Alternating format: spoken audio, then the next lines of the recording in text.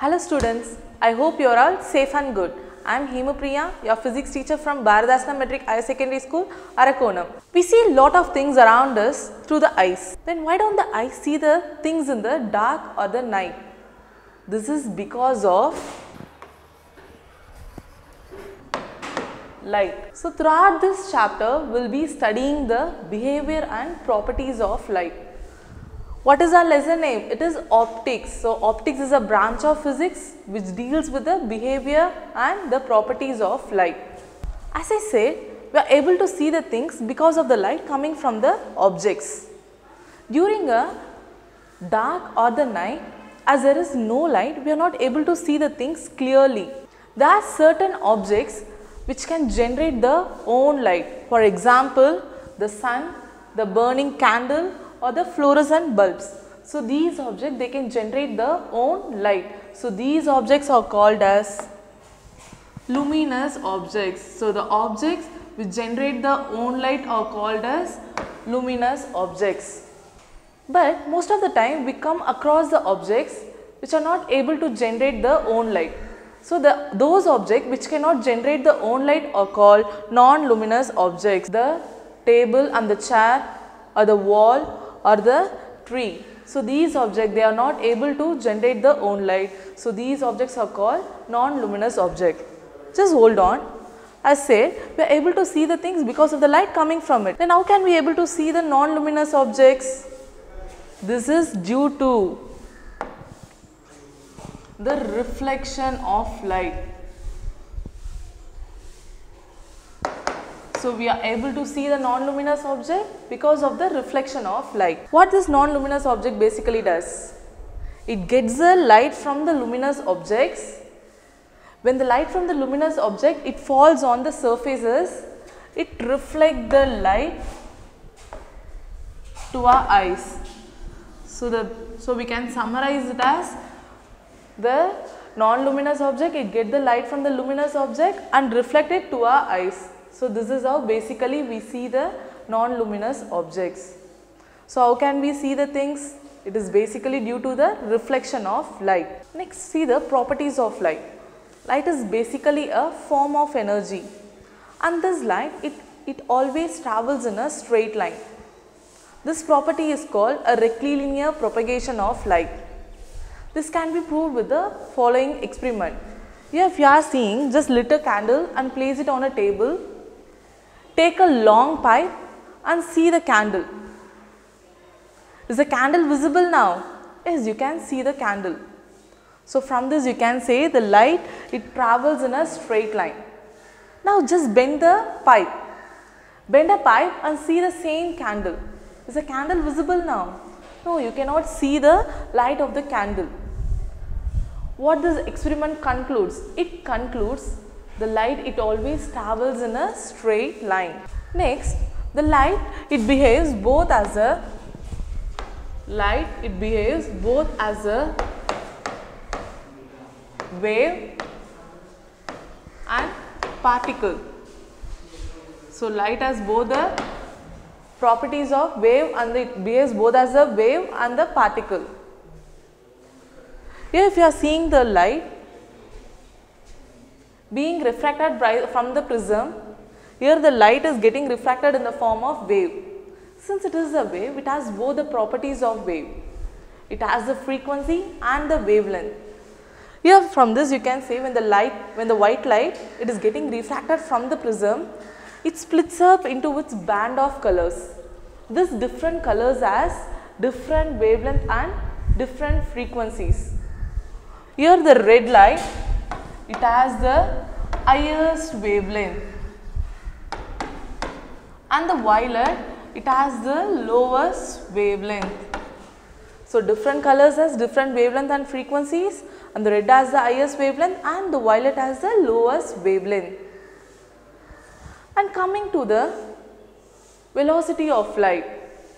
Since it is a wave, the velocity is given by the relation of frequency mu into wavelength lambda. So, the velocity of the light is given by the equation c is equal to velocity is equal to frequency times the wavelength of light. and the speed of the light in vacuum is 3 into 10 power 8 meter second inverse. And when this white light it falls on the surface, when the light falls on the surface, the part of the light is getting reflected and the part it's partially getting refracted.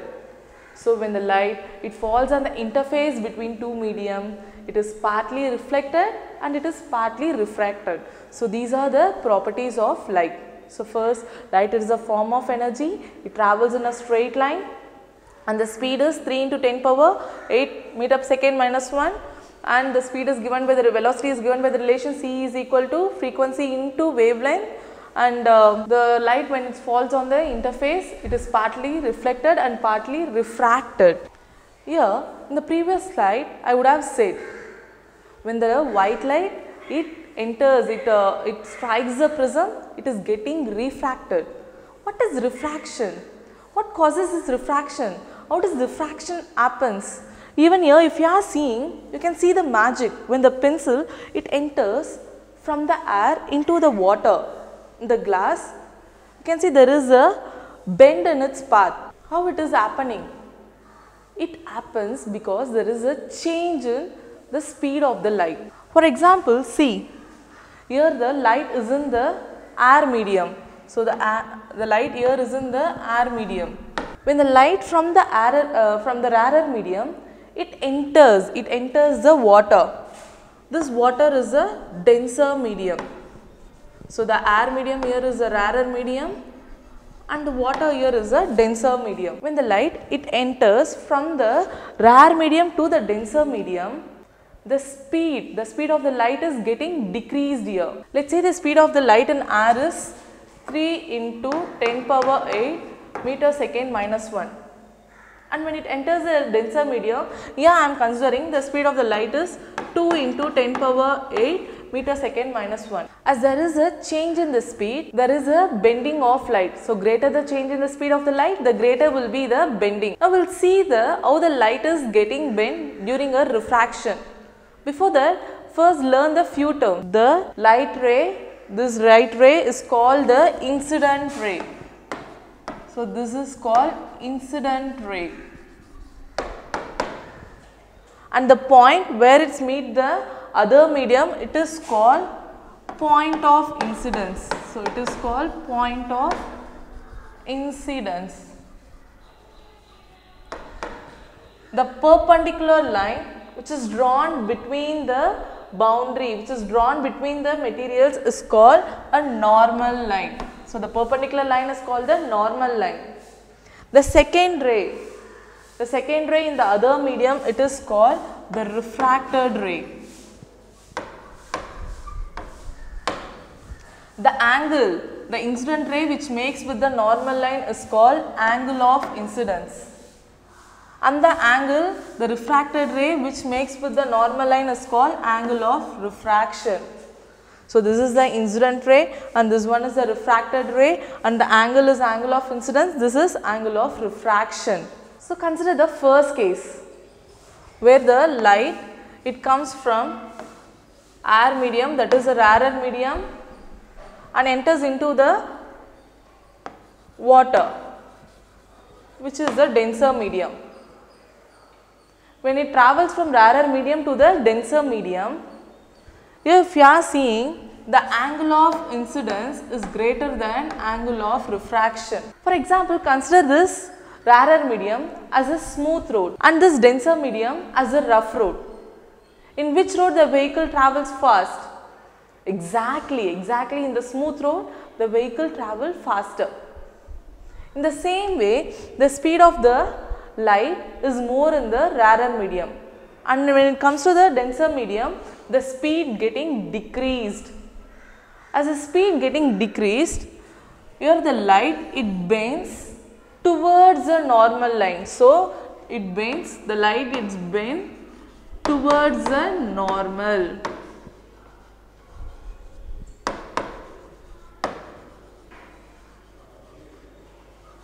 So, when the light rays it uh, comes from rarer medium to the denser medium the speed of the light getting decreased and it bends towards the normal And this is the second case where the light comes from denser medium to the rarer medium. Consider this is the water which is a denser medium and consider this is the air, air medium.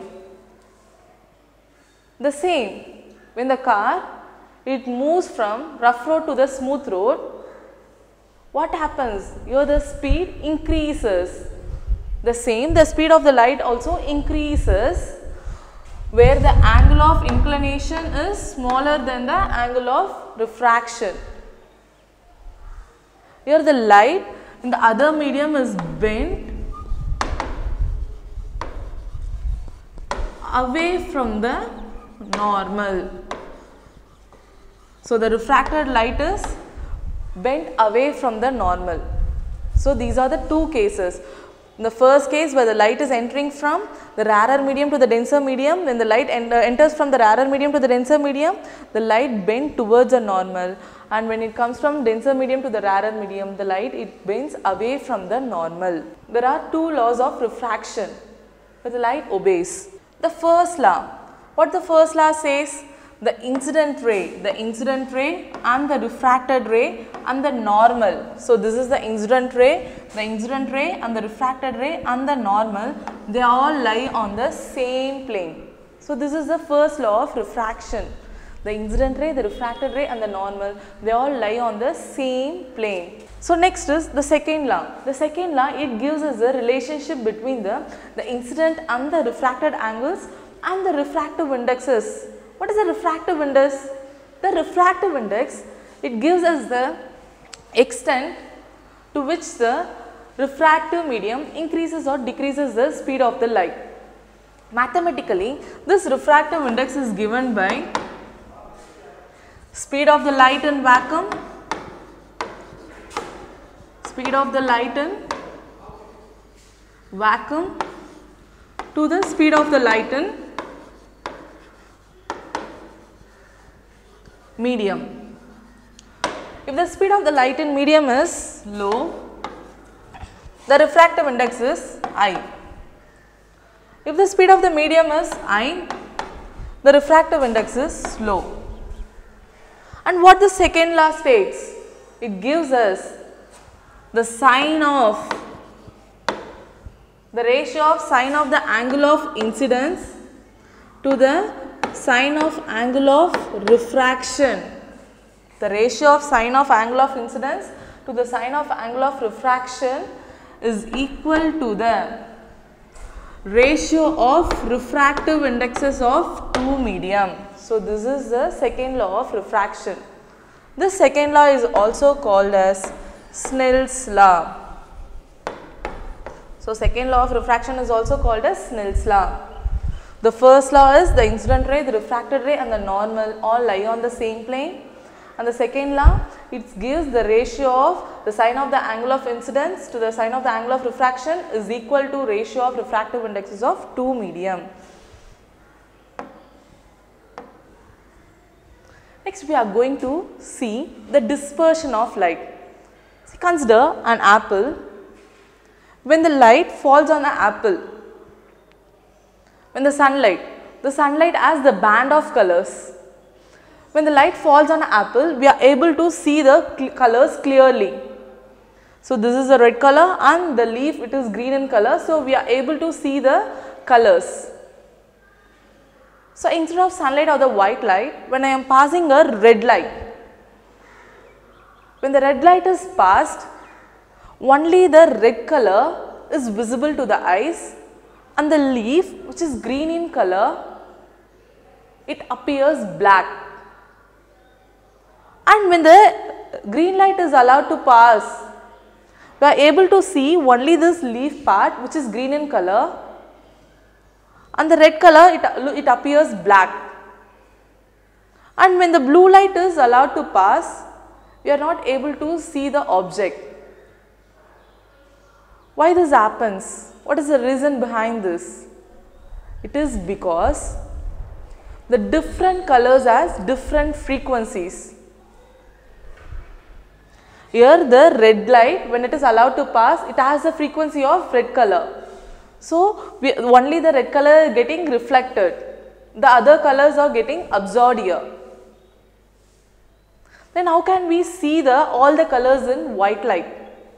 This is because the white color, white light which has the all the colors of all frequencies. So white color has a millions of colors in it.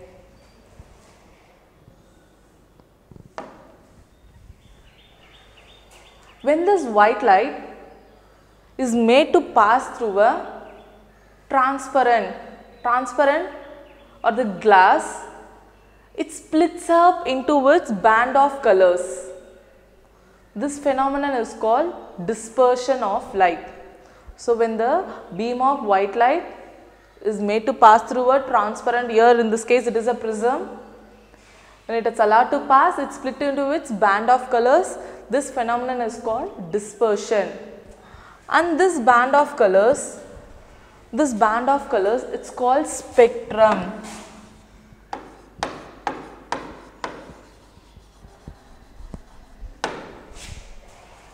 This spectrum has 7 colors for your simplification.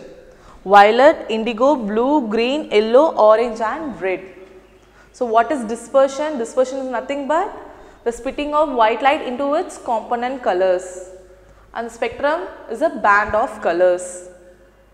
So, so far in today's class we have seen what is basically a light and how we are able to see the things and the properties of light along with the phenomenon of reflection, refraction. What is refraction? The change in, the change in path of the light when it travels from one medium to the another. That is when the light travels from one medium to the another, there is a, there is a deviation in its path. So, it is called refraction. And we have seen and finally, we have seen the dispersion of light.